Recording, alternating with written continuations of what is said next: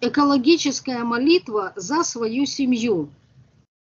Дорогой и любимый Господь, пожалуйста, защити меня, мою семью, всех моих родственников, друзей и знакомых от ядов и токсинов, находящихся в воздухе, в еде и питье, которые мы употребляем.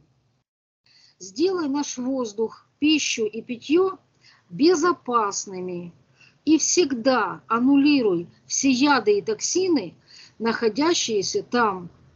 Да будет вся слава Тебе, драгоценный и любящий Господь. Бешеми Шуаха Машиах. Амен.